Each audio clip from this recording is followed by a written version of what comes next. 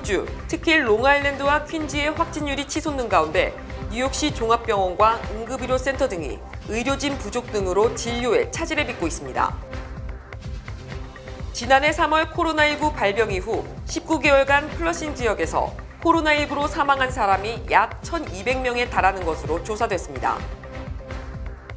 한인 밀집 지역인 퀸즈 플러싱이 코로나19에 따른 경기 침체 이후 뉴욕주 그 어느 지역보다도 회복세가 빠른 것으로 확인됐습니다. 북한 인권 활동가이자 사업가인 마영애 대표 부부가 트럼프 전 대통령과 공화당 유지들이 참석한 행사에 유일한 한국인으로 초청됐습니다.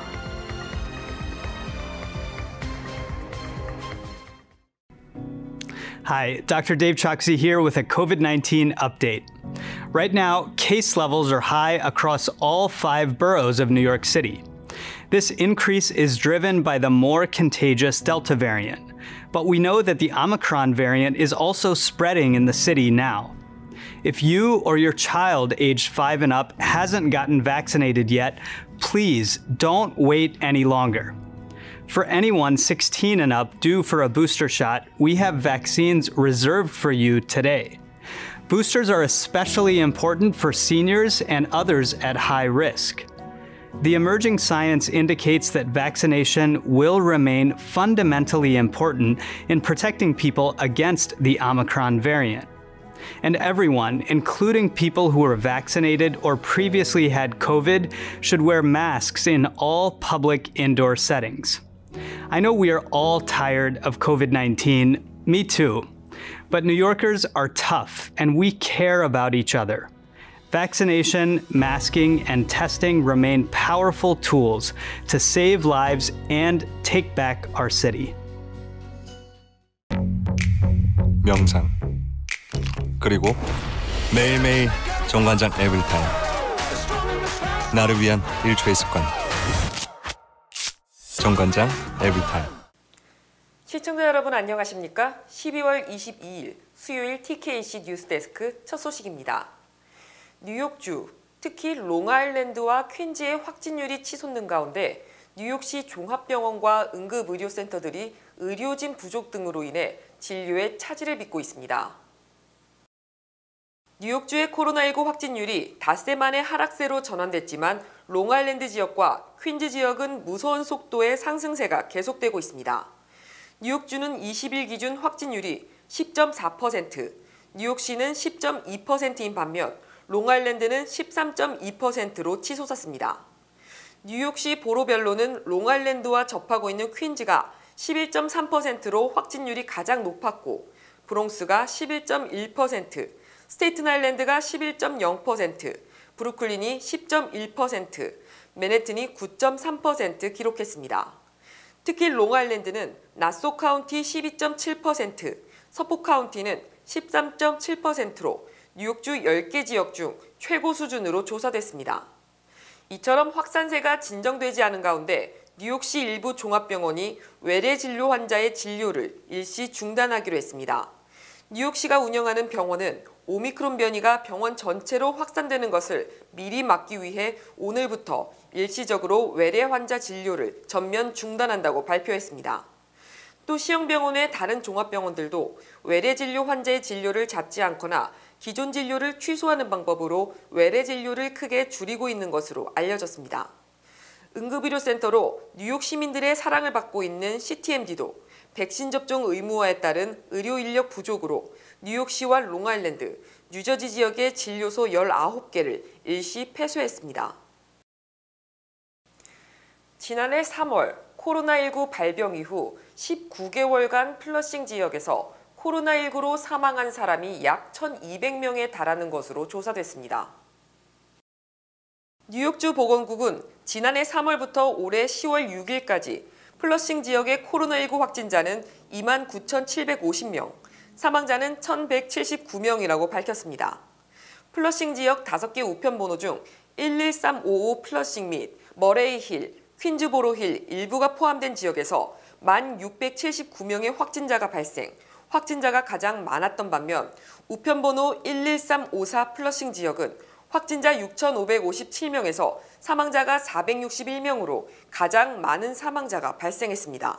또 우편번호 11357 와이스톤 지역이 확진자 5,191명에 사망자 169명, 우편번호 11358 오번데일 지역은 확진자 3,849명에서 사망자 93명, 칼리지 포인트는 확진자 3,474명에서 사망자 65명으로 집계됐습니다. 같은 기간 퀸즈는 확진자가 30만 972명에서 사망자가 1만 168명, 뉴욕시 전체는 확진자 105만여 명, 사망자 3만 3,977명으로 조사됐습니다. 인구 10만 명당 사망률을 보면 뉴욕시는 408명, 퀸즈는 448명인 반면 우편번호 11354 플러싱 지역은 무려 855명으로 뉴욕시 평균의 2배를 넘었으며 플러싱 5개 우편번호 지역 전체도 512명으로 뉴욕시 평균을 조금 넘었습니다. 한인 밀집 지역인 퀸즈 플러싱이 코로나19에 따른 경기 침체 이후 뉴욕주 그 어느 지역보다도 회복세가 빠른 것으로 확인됐습니다.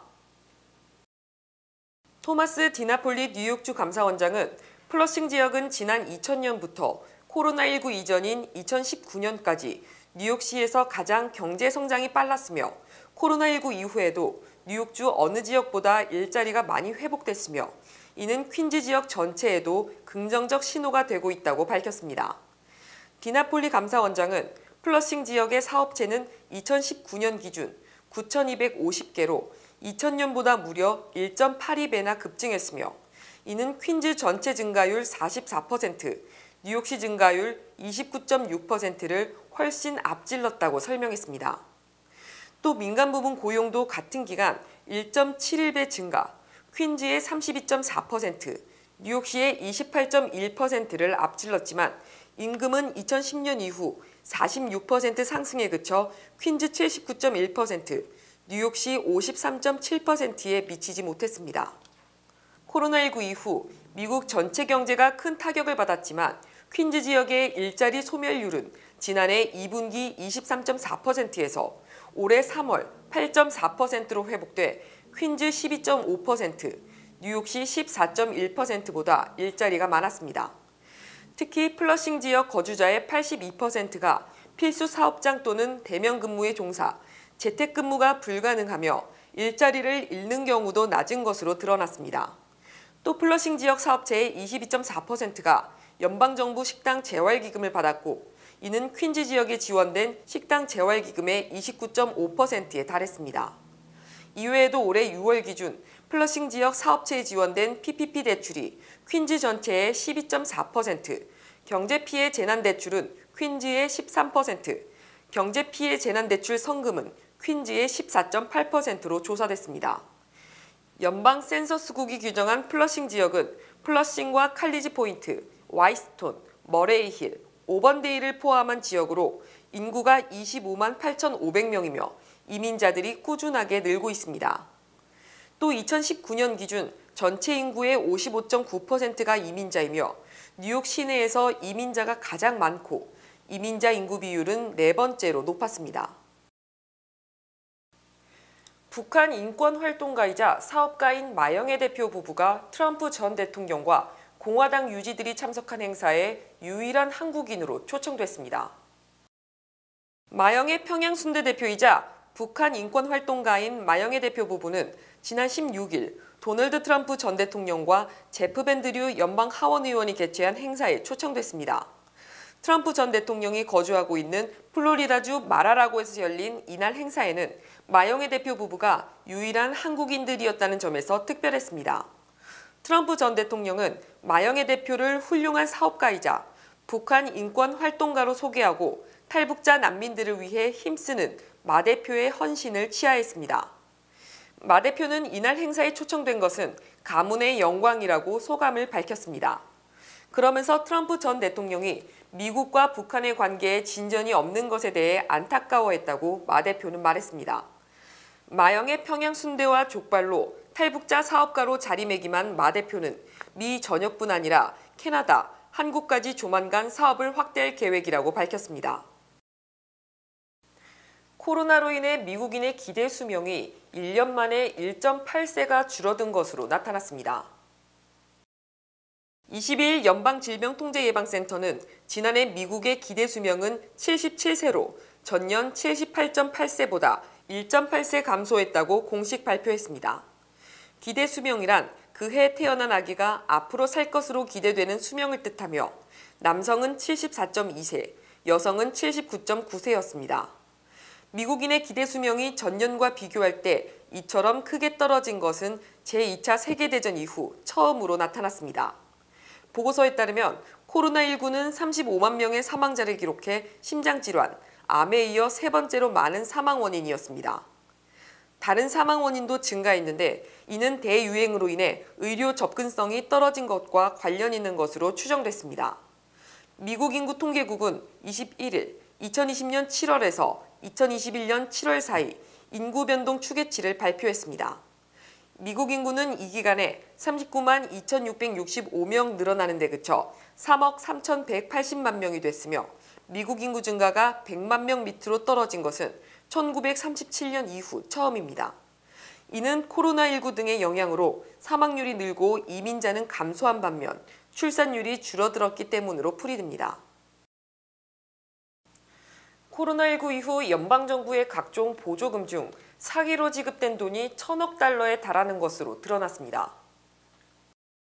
국토안보부 산하 비밀경호국은 지난해 3월 코로나19 이후 경기부양 패키지법에 따라 국민과 기업들에 지급된 연방정부 자금 3조 4천억 달러 중 3%에 달하는 천억 달러가 서류 위조 등으로 부정 수급된 것으로 추정된다고 밝혔습니다.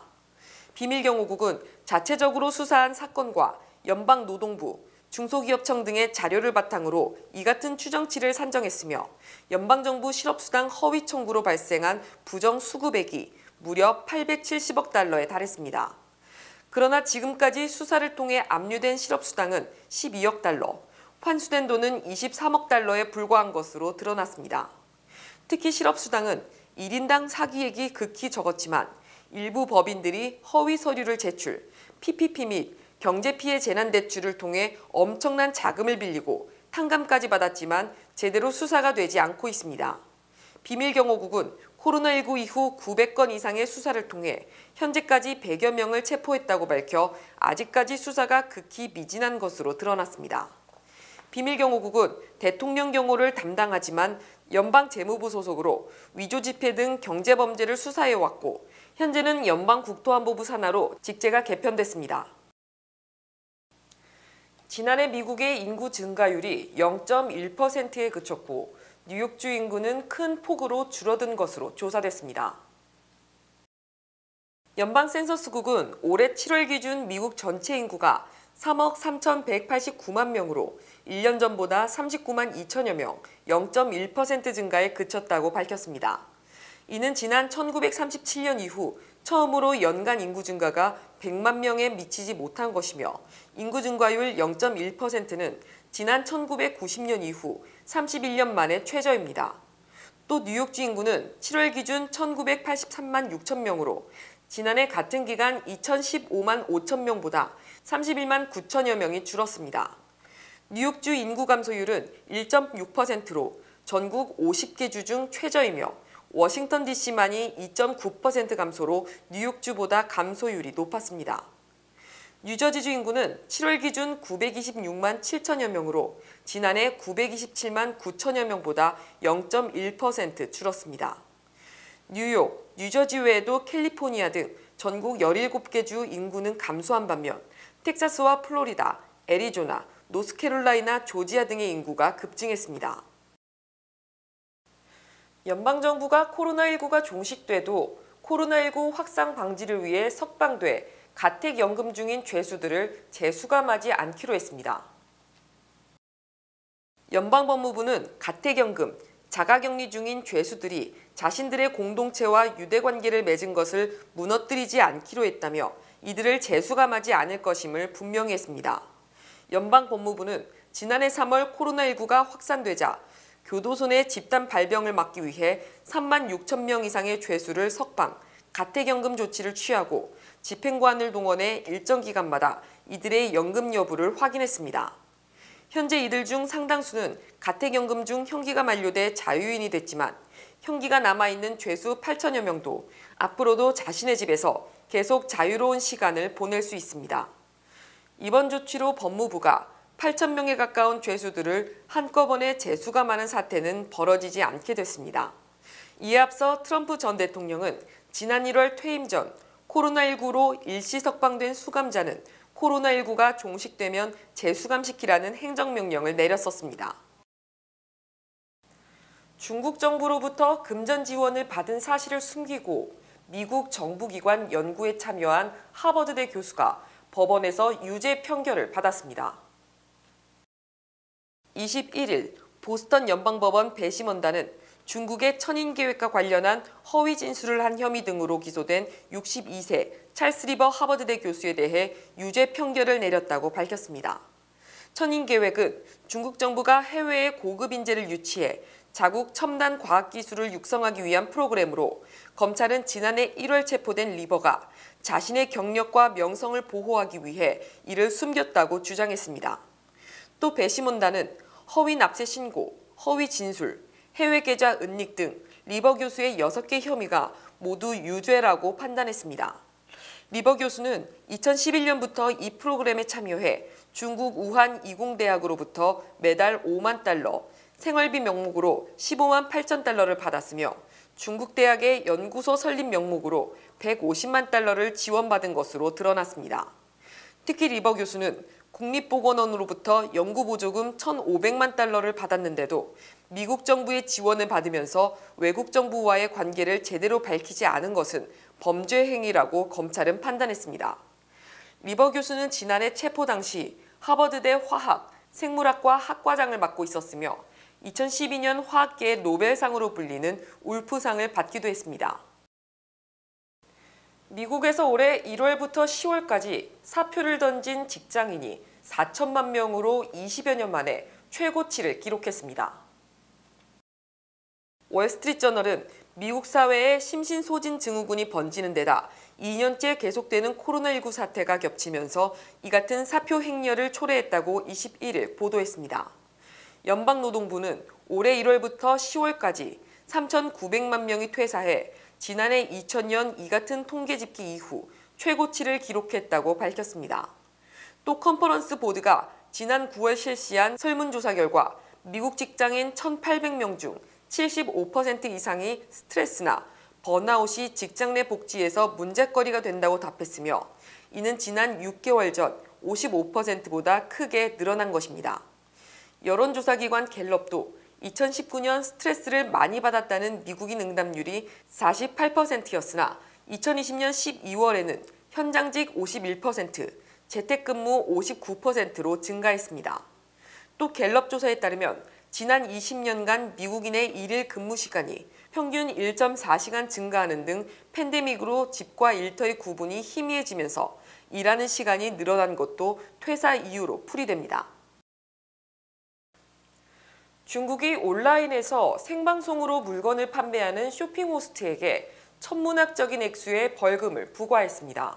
SBS 김지성 특파원이 보도합니다. 중국에서 대규모 쇼핑 행사가 시작된 지난 10월 20일 SNS 팔로워만 9천만 명이 넘는 최고 인기 쇼핑 호스트 웨이아가 온라인을 통해 다양한 상품을 소개합니다. 来，所有买的人买四盒再送四超过四盒的量，来送五盒的量再加两片。 웨이아가 이날 14시간 동안 판매한 금액은 85억 위안, 우리 돈 1조 5천억 원으로 중국 대형 백화점의 1년 매출액을 넘어섰습니다.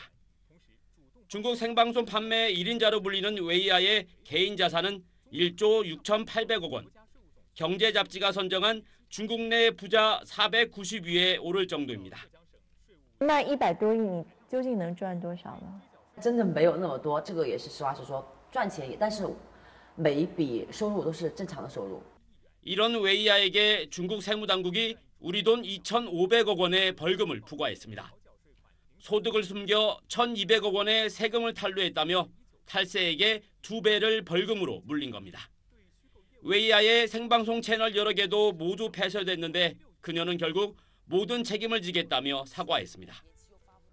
중국의 온라인 생방송 판매 시장은 몇 년 새에 급성장하면서 올해는 423조 원 규모에 달할 것으로 예상됩니다.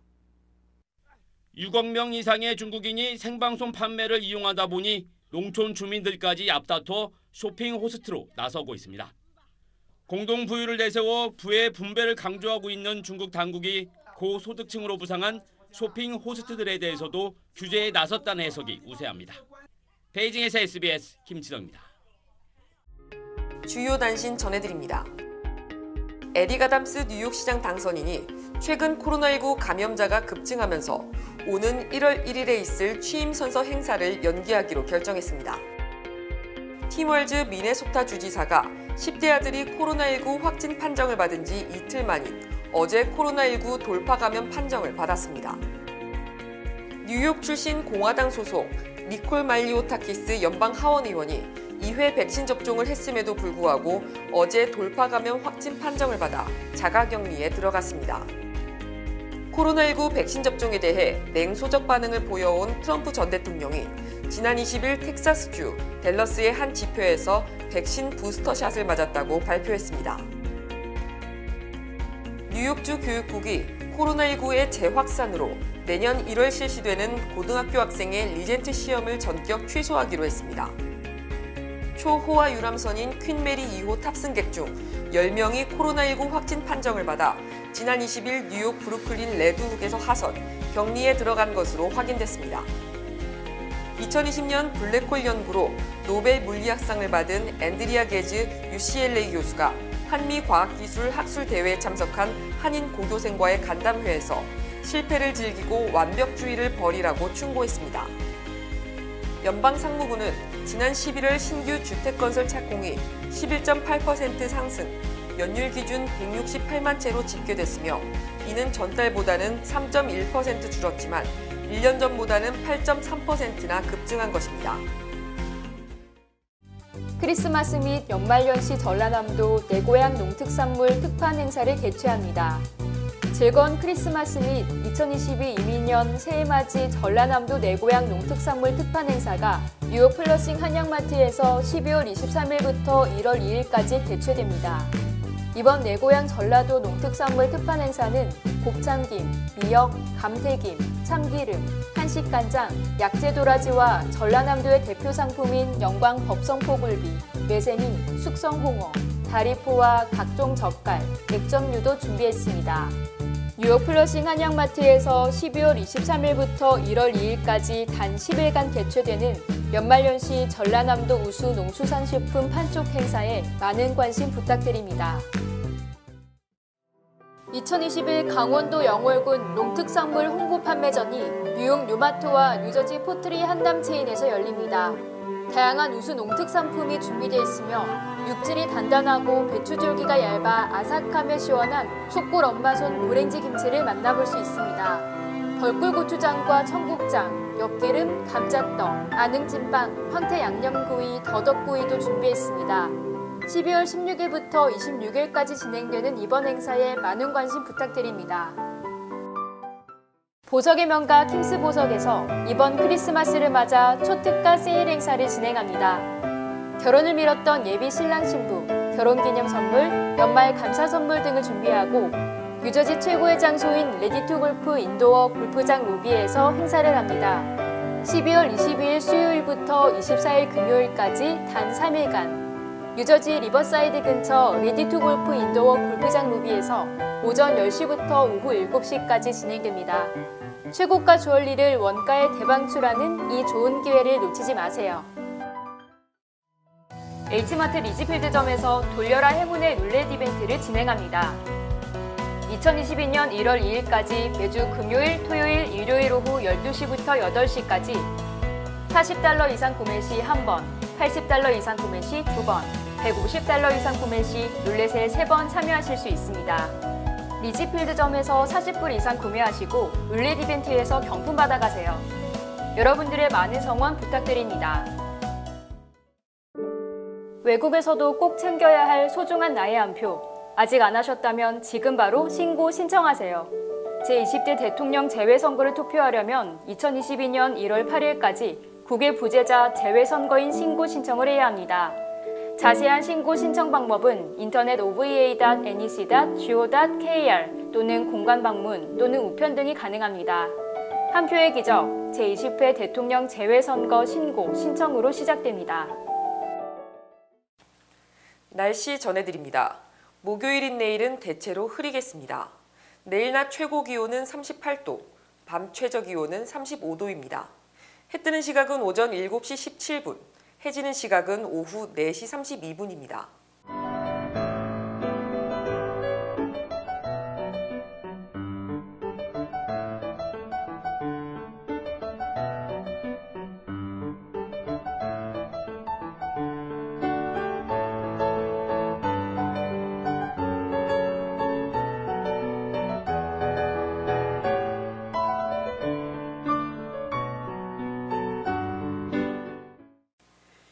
(12월 22일) 수요일 TKC 뉴스데스크 여기서 마치겠습니다. 시청해주신 여러분 고맙습니다.